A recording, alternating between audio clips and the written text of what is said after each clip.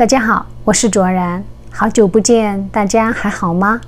今天之所以出来，是因为近两个月来我家发生了很多事情，如今尘埃落定，该到了和大家汇报的时候了。我的父亲有个农庄，里面果园、菜园、花园、鱼塘一应俱全。父母亲在那里颇为享受他们的田园生活，以此安度晚年。然而四月二十日清晨，突然看到微信上父亲给我发来一大堆信息，点开一看，不禁心猛地一抽搐，脊背发凉。赫然眼前的是父亲皮开肉绽、血肉模糊的左足，我甚至都不敢多看一眼。下一张就更恐怖了。是已经包扎起来，看着足部顶端是平齐的左足，我心一惊，以为都已经截肢了呢。颤抖着点开语音，才发现是离地时不小心被机器所伤，只是缝合包扎起来了。再接着看，下面有腓骨和踝骨骨折，但未移位的 X 光片，暂时松了口气。沟通语音，进一步了解详情后，发现足部皮肤颜色感觉正常，算是暂时放下心来。父亲想转到级别更高的医院，于是就着手帮他联系。一番周折后，转入了我以前在国内时工作过的医院，很快进入术前准备。正当平时闲不住的父亲。迫不及待要尽早手术，以便能早日回家之时，一个检查报告提起了所有人的心。父亲中度贫血，不能手术，一边备血一边追加 CT 内镜一探究竟。结果追查之下，查出了一个对所有人来说都是晴天霹雳的消息：很大一个结肠癌，把肠腔都堵住了，内镜都通不过去。说明病情时，医生小心翼翼的眼神让母亲汗毛倒竖。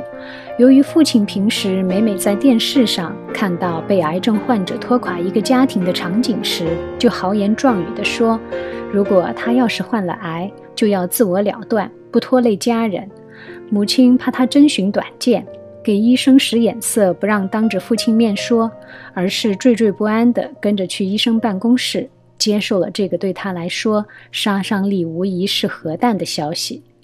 同样的惊恐也发生在母亲哭过不知道多少回，考虑再三后告诉我之时。父亲一贯身强体健，每每问他都说好得很。自从有了农庄后，体力劳动多了，本来以前长期需要服安眠药的他，如今每晚都能自然入睡，一觉到天亮，自我感觉好到了极点。现在受了此生最大的外伤就不说了，这个诊断一下子让人感觉死亡的气息竟然毫无征兆的就近在咫尺，让人措手不及。我立刻问母亲和弟弟：“我想办法回去好吗？”他们想都没想就直接拒绝了，说是疫情期间不要回来。另外，如果回去，父亲就会知道他病重了，只能作罢。然而，我一时间也无法接受这个现实。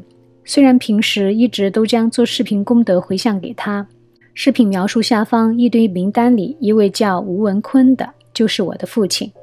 然而这个时候也六神无主，只能立刻扑倒在佛菩萨面前，马上发愿为他吃全素，愿意为父亲承受所有的病痛，请求佛菩萨将父亲身上所有的病痛都转移到我的身上。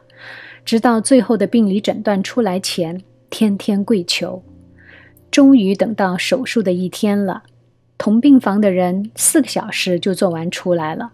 守在手术室外的母亲和弟弟，发现父亲进去了六个小时都不见出来，渐渐被恐惧笼罩。终于，医生端着一段黑红相间、缀满息肉和肿块、不忍直视的长段出来了。医生根据术中的判断，跟母亲说不容乐观，是 T 四，靶向治疗最好。母亲以为说的是四期，再一次天旋地转。等他战战兢兢把这个坏消息告诉我，有着医学背景的我一听就知道这是已经穿透肠壁，并且侵犯到周围组织的意思，晚期的感觉。因为只有晚期病人才会用到靶向治疗。然而病理报告尚没有出来，还有最后一丝希望。只要没有淋巴结和远处转移，那就还属于早期。终于病理报告出来了，是 T 三 N 零 M 零，意思就是无淋巴结和远处转移。这让手术医生很意外。然而，这个消息直接将我从深渊里打捞了出来。这是从晚期的预期一下就变成了早中期的现实了。一看他的病理报告，肿瘤的扩散正处于脉管边缘，若再等一些时间，只怕真的是为时已晚。这是在转移前夕被发现了，的确是不幸中的万幸啊！我不禁赶紧跪谢佛菩萨。大家也应该发现，我发布视频的频率也增高了。发布再多帮助弘法的视频，也无法报佛恩啊。后面都恢复得很好。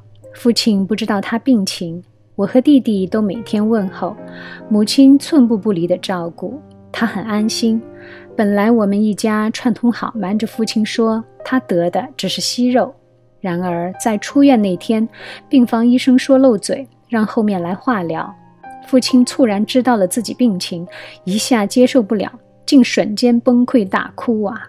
朋友们，一个六十五岁的男人在病房里不管不顾的直接嚎啕大哭，你们敢想象那是什么凌乱的场景吗？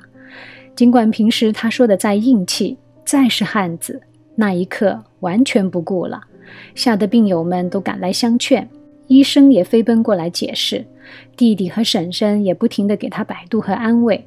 终于才渐渐平复下来。回去以后，近十天没有进正常饮食的他，胃口大开，一如既往的开始大碗吃肉。然而，同时又陷入了抑郁。我就想办法解开他的心结。慢慢的，他感觉好些了。我又劝他念南无观世音菩萨，并且告诉他，观世音菩萨救过我很多次，给他增加信心。突然有一天，母亲和我说。那天，父亲忽然和他说：“为了病能好，不吃肉就不吃肉了。母亲做什么，他就吃什么。”这可把母亲给高兴坏了。于是尽心尽力地换着花样给他做素食。父亲下肢和腹部的伤口也日渐痊愈，精神也越来越好。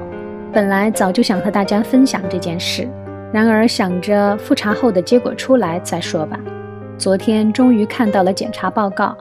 可以说是一切正常，之前超高的癌指标也都降到了最低，CT、核磁共振都没有发现任何异常。医生说这种情况可化疗可不化疗，然而为确保万无一失，还是给了一期化疗。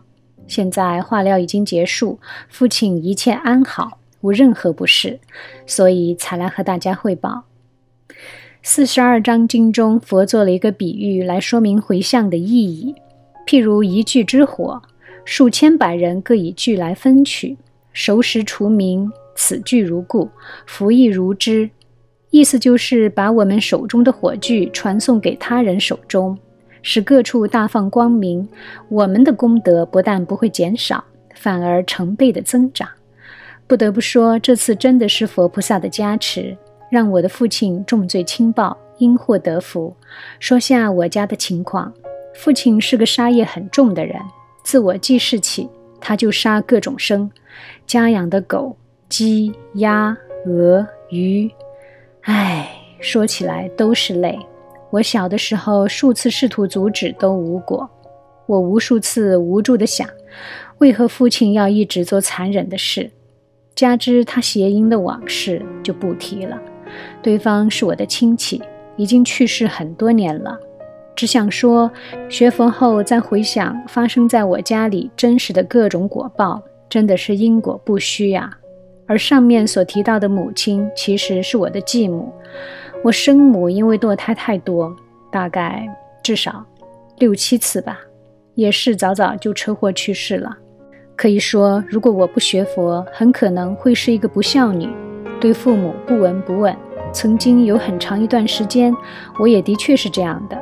然而学佛了，我很自责，心想尽孝，却感觉无力。有一次找了一位会通灵的居士请示观世音菩萨，说是让我念《地藏菩萨本愿经》五百部。我为了化解和父母间的隔阂，真的念了。前后用了一年多时间。我清楚地记得，在念到三百九十多部时，那压住我心头、让我对父母生不起感恩之心的大石头，忽然就没有了。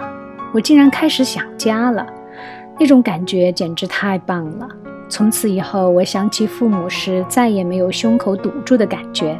我做这个频道的一大重要原因，也是可以积功累德，回向我的父母和亲人，报他们的恩。如今。大家都健健康康，我真的非常欣慰，感恩大家！你们无论是观看、点赞、留言还是分享，都会推动视频的流传，所以所做功德和你们是密不可分的。我必定会不懈地坚持下去，将所做功德都回向一切众生，回向支持清凉地的你们。愿我们一同精进不退，尽此一报身。同生极乐国。